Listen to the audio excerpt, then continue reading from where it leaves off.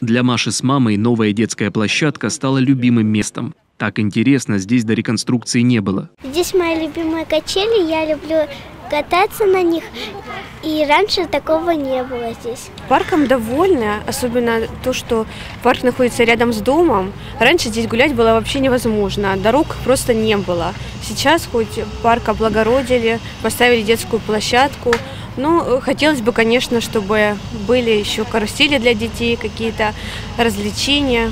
А так, в принципе, отлично. Семья Белокуневых – ветераны парка Сабино. Гуляют здесь больше 17 лет. И говорят, что раньше парк был абсолютно заброшенным. Вечером здесь страшно было ходить. Преобразованиями довольны. Очень хорошее освещение сделали, очень много лавочек. Потому что летом в хорошую погоду тут э, народу, видимо, невидимо. Мамашки с колясками со всего района сюда съезжаются. Благоустройство разделило парк на две части – рекреационную для спокойного отдыха и культурно-досуговую. Здесь спортивная площадка для занятий воркаутом, зона выгула и дрессировки собак, амфитеатр, площадка для торжеств. Плитка вместо асфальта, велодорожки, гравийные тропы для прогулок, указатели. Все это сделали за год, после того, как предыдущий подрядчик сроки сорвал.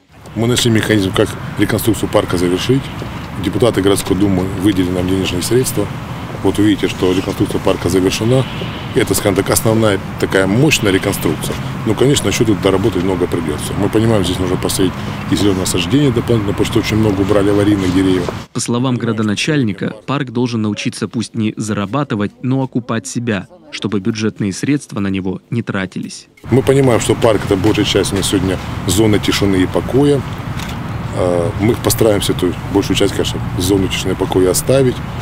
Где-то будут определенные места, где действительно не может быть какие-то активности, где-то нужно будет, будет, должно быть небольшое количество каких-то торговых точек общепита, чтобы люди могли покушать сюда прийти. Торжественно самый старинный парк города откроют весной. Артем Тарасов, Виталий Ступаков, Первый Ростовский.